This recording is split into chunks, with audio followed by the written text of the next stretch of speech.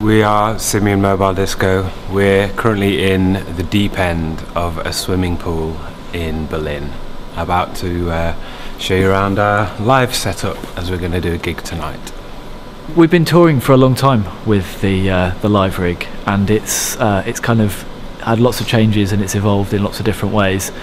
And uh, yeah, we just we felt that it was an interesting time for us to document uh, one of the gigs along the way. I think our live show is quite flexible and it's quite uh, different um, each night, if you know what I mean. So um, yeah, we were really keen to um, just, like Josh said, take a snapshot of it. The, the live versions have come to sound really quite different from the recorded versions. There's a pad at the front that um, means we can program patterns on the fly. So you know we can sort of put in whatever we think is right for that moment. The old tracks, the way we play them, it just naturally makes them fit in with the new stuff. Um, you know, it's it's just one of those things. You make different decisions on uh, what sounds you use on the synths and like what drum patterns you use, and then you know maybe if it's a snippet of a vocal that like links it back to that old track. One one of the reasons why we stand opposite each other is because a lot of the the kind of although we have an idea of what tracks we're going to play, the the the transitions between them and how long we play them for is pretty much up for grabs. And so some nights it goes well and we play them for a long time. Some nights not so well on the jams. And Yeah. you just, you know, you just like, if, if we're facing each other, you just on the nod, you can be like, like, this is done. With this stuff, you never really have it properly under control. Um, there, there are a few things that generally work, but pretty much every night something goes wrong. And, and part of what is interesting is uh, letting it go wrong and following it rather than worrying about it and trying to make it exactly like it was the previous night.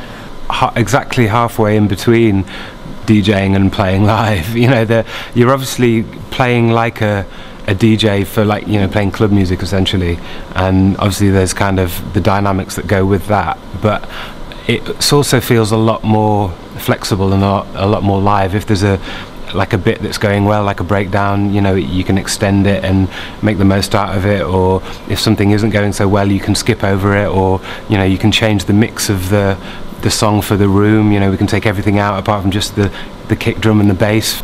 This is the mixing desk.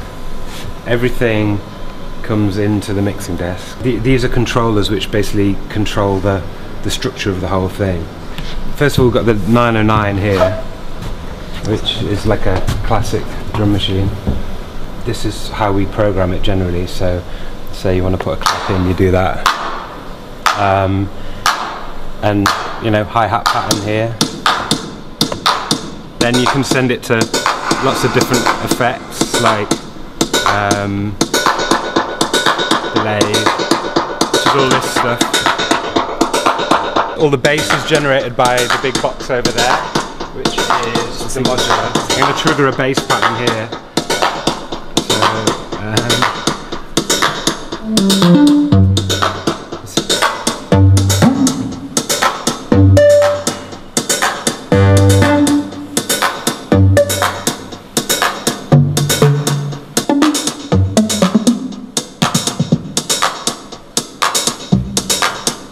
this is like a, a software sequencer that we use that controls uh, this, which is another synth.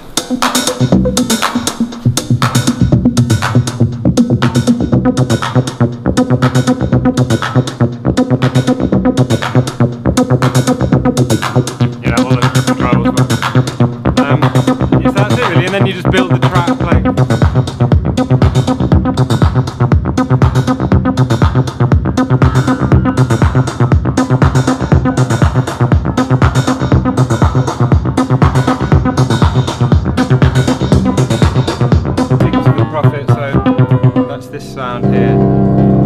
Like a like a Juno type polysynth. And these are the different rhythms of you know